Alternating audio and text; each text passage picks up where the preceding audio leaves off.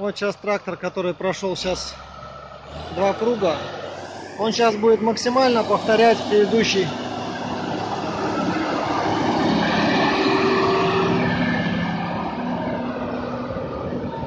Этот трактор повторяет максимально точно предыдущий трек. То есть он идет э, по только что пройденному ряду, его копирует. И точность можно увидеть по сохранению следа. Например, вот та растительность, которая оставалась на, между колес при проходе в ту сторону ранее, она также полностью сохраняется при повторении этого следа. То есть ровно след в след был повторен трек.